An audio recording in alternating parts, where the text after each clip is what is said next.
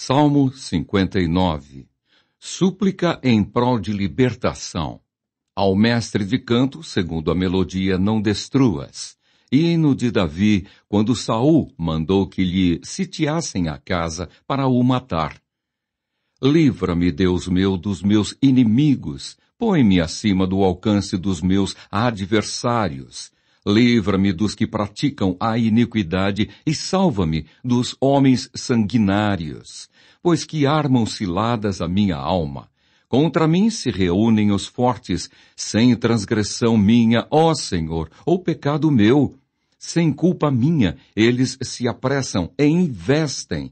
Desperta, vem ao meu encontro e vê. Tu, Senhor, Deus dos exércitos, és o Deus de Israel. Desperta, pois, e vem de encontro a todas as nações.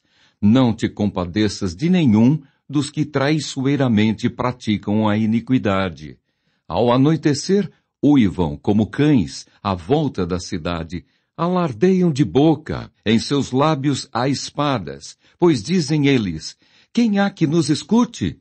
Mas tu, Senhor, te rirás deles, zombarás de todas as nações. Em ti, força minha, esperarei, pois Deus é meu alto refúgio. Meu Deus virá ao meu encontro com a sua benignidade. Deus me fará ver o meu desejo sobre os meus inimigos. Não os mates, para que o meu povo não se esqueça dispersa-os pelo teu poder e abate-os. Ó Senhor, escudo nosso! Pelo pecado de sua boca, pelas palavras dos seus lábios, na sua própria soberba sejam enredados, e pela abominação e mentiras que proferem. Consome-os com indignação, consome-os, de sorte que jamais existam, e se saiba que reina Deus em Jacó até aos confins da terra. Ao anoitecer, uivam como cães à volta da cidade, vagueiam à procura de comida e se não se fartam, então rosnam. Eu, porém, cantarei a tua força. Pela manhã, louvarei com alegria a tua misericórdia, pois tu me tens sido alto refúgio e proteção no dia da minha angústia.